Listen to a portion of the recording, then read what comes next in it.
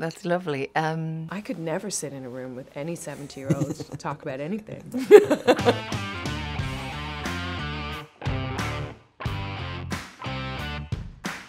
Star Wars marries the epic and the intimate. It is so ambitious in its reach. It is set in a galaxy far, far away. It is about Jedi's and Siths and rebellions and empires. But at its core, it's about human beings. It's about humanity. It's about families. It's about us. I think it's terribly relatable. Ah.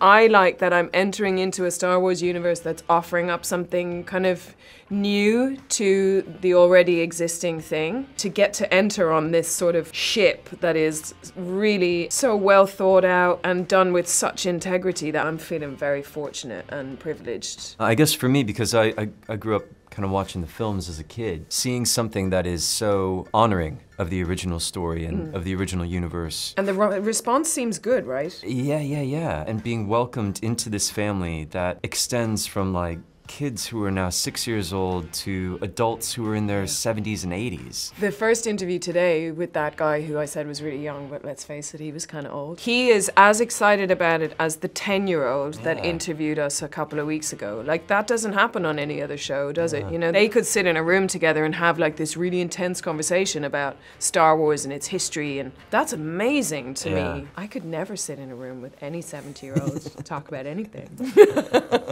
Sorry, delirious now.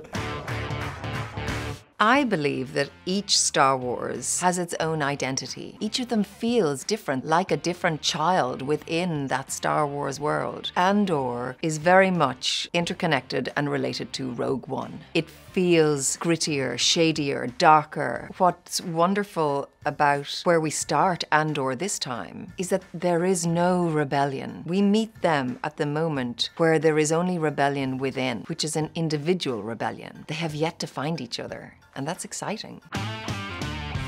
Mm. not fucking it up. That would be. Yeah, yeah. I think we had similar feelings in that yeah. respect. But also, yeah. we were filming it in, in, the pandemic. In the pandemic, so it was like number one, stay alive, and number 2 don't mm-hmm. fuck it up. Yeah. But also, I do think we both come from a very strong theater background. So you just go and do the show every night. I think that's what you get with a theater background is the ability to just shut off all the noise. I didn't really think about anything outside of it when I was working on it. I was really present in this grown-up fantasy world that I was allowed to walk around in with two Death Troopers. It was like being in some family drama. So true. Political thriller thing. Yeah.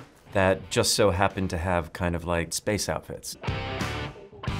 It's actually been nothing but a joy to get to return to this character because I've been given the opportunity to return to her at different stages of her life, which are reflective of different stages of my life. We're learning about this woman, not just the senator, not just the role, but this woman, who she is, what her life is like, what her family life is like. I feel like this is the best moment for me to be part of telling that story.